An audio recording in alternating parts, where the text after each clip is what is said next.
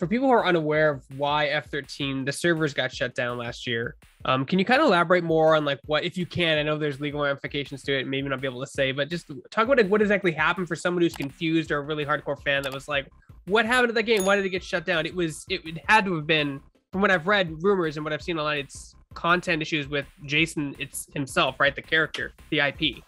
Yeah, I mean, honestly, I would probably ask Gun Media that because they were the publisher and they made those decisions, and you know, we weren't like, like while I remain in contact with them, like we weren't really, you know, they made the decisions they made, and and that was their call. Really, we were just the you're just along for the ride. on the project. Yeah, exactly. That's what, that's what you so. said earlier. Like sometimes we just have to be like, it's not our call. We just sit there and they tell us what happens, and we're like, okay, that's exactly. the price for working with intellectual property, other people's intellectual property, or publishing. Exactly, and, and like you know, I don't know all that. Like I know that the lawsuit stuff is probably a giant mess, but it it never, you know, as a developer, it never really affected us because we were we set out to what do what we needed to do, and then they you know they made the calls best for their business uh, based around information they had so. Yeah. And then my last question is what does your studio learn from f13 and uh, and uh, predator uh, hunting grounds that you've applied to arcade armageddon? Like uh, talk a little bit about that. Oh i think i mean really for me at least it's each trying to make each game better um you know like i think f13 was launched, it was a small team we had, and and there was you know bugs, and then Predator was better, you know, right? Like we just were a little bit like yeah, there were still issues here there or whatever, but for the most part, it was you know just that next step. And I think arcade is kind of the same thing. I mean, that's you know it's it's like the next step in evolution of us as a as a studio. I mean, it's important to us to make you know quality products and the best we can. And you know sometimes we put out games and and it's when it gets into the masses hands and there's hundreds of thousands of people playing those games like it it you know things can break down that we just never would foresee. And so it's just every project builds on the next. It's like we've you know learned since friday the 13th how to really test and, and stress test our servers. And that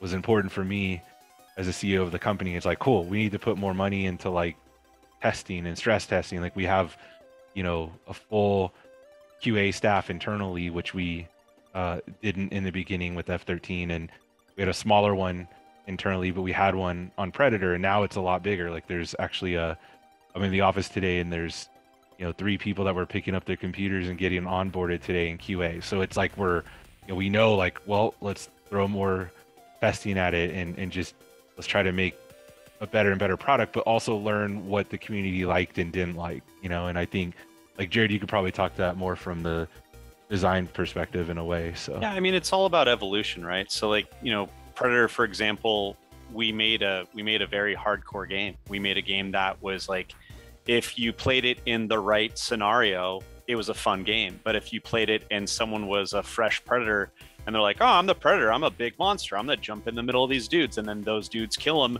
It's like, "What? I should be invincible." Like, what? Then it's like, well, okay, we need to figure these things out for next games. We need to like, it's all about remembering what we've done, not only what other people have done, but what we did. And so, like, you know, if we ever make an asymmetrical game, we'll figure out those formulas of going like, okay, bad, bad single monster uh, n- needs to figure out these elements to make sure that the game doesn't end in two minutes, you know, and and so like those are all those were things. Um, the you know with with arcade, it's it's about easy pickup.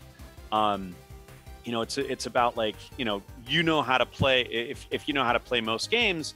It's it's kind of shocking how many people are like, oh, I've never played a game like this before. It's like, well, what, what do you mean you've never played a third person game? So it's like it's evolving those simple, easy to pick up, hard to master type of elements, but also making it so if someone is just truly nowhere clear near mastering, they still have a fun experience. And so, you know, that was the big thing about arcade with like the level increase. So if you're just not a great gamer and and you don't have a crew to play with, you could still play the game for 5, 10, 15, 30 minutes just by by just trying to get better um, versus like we you know i feel like with predator it was such a hardcore game you know we we were like if someone hasn't played you know the shit out of COD or Battlefield and they're playing Predator, they might be in trouble. If someone hasn't played this type of game, they might be in trouble.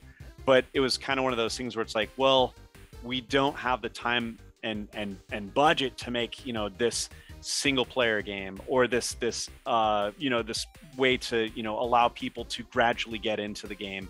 We had to throw them kind of feet first in the jungle essentially. And you know there's there were a lot of people that came in because they were fans of predator that just didn't play multiplayer games. But i've i've i've had people hit us up saying like never played a multiplayer game before. I played it because of predator. Now i play multiplayer games. And that's kind of a cool thing to, to hear um, but it's definitely one of those things. The biggest learning experience I feel with with us is like, you know, our our our you know our roadmap or our our evolution as a studio was you know 30 some odd people.